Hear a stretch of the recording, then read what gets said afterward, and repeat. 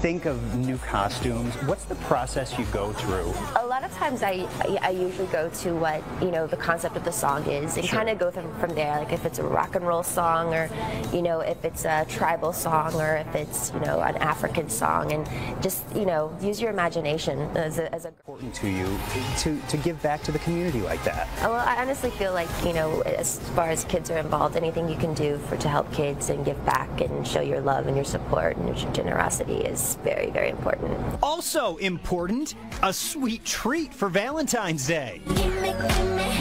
Since we're the More Show, we are giving you more, Britney. Holy crap! Thank you. this is amazing. I'm gonna have to dip. Oh wow! Thanks. They're red velvet sprinkles. Does that work? Thank you.